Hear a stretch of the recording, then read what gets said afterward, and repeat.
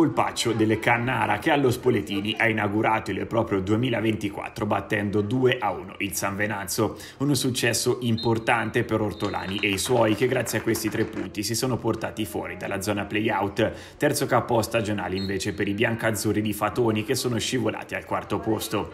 Pronti via e della Vedova ci prova su calcio di punizione ma il suo mancino termina sopra la traversa. Dall'altra parte buona chance per Cavitolo che però trova sulla sua strada un attento Cosimetti. Poco dopo Minelli atterra così in area di rigore Bazzoffia e l'arbitro del match Filippo Bocci di Foligno concede le penalty ai locali. Dal dischetto va della Vedova che però si fa ipnotizzare da Marianeschi che addirittura blocca la sfera.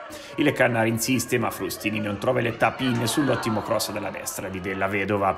Poco dopo ci prova anche Ferrario che è bravo a saltare Casciola ma poi col destro a giro non trova lo specchio della porta e allora il primo tempo termina a reti inviolate. La partita si sblocca ad inizio ripresa quando al minuto 47 su questo spiovente Bazzoffia approfitta della dormita della difesa del San Venanzo per impossessarsi della sfera e scaricarla poi alle spalle di Marianeschi per il gol che porta in vantaggio vantaggio il Cannara. I padroni di casa non si accontentano e al 55 trovano anche il raddoppio con Sapienza che ribadisce in rete la spizzata di Piantoni sulla punizione calciata da Ferrario, palla in fondo al sacco e Cannara sul 2-0. Il San Venanzo si getta in avanti per cercare di riaprire la gara e raggiunge l'obiettivo al minuto 73 quando Fattorini raccoglie questo pallone vagante col mancino lo spedisce in rete per il gol del 2-1.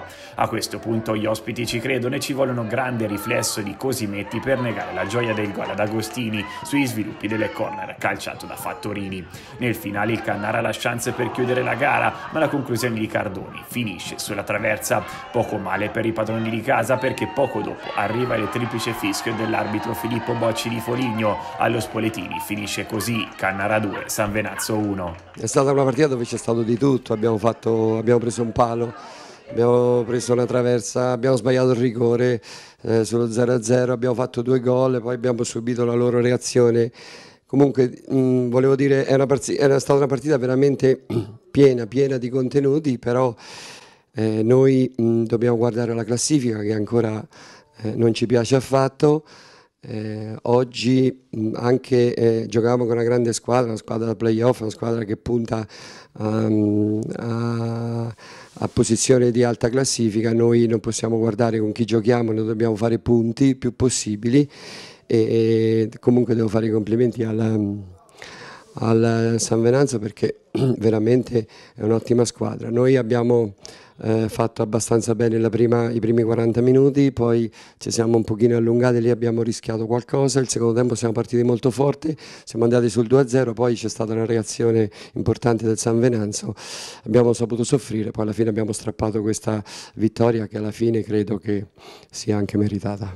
Sì, sapevamo oggi che sarebbe stata una partita difficile, dura, perché il Cannara è una squadra in salute, è una squadra che ovviamente la posizione in classifica un po' inganna, ma è una squadra che è stata costruita per fare altro.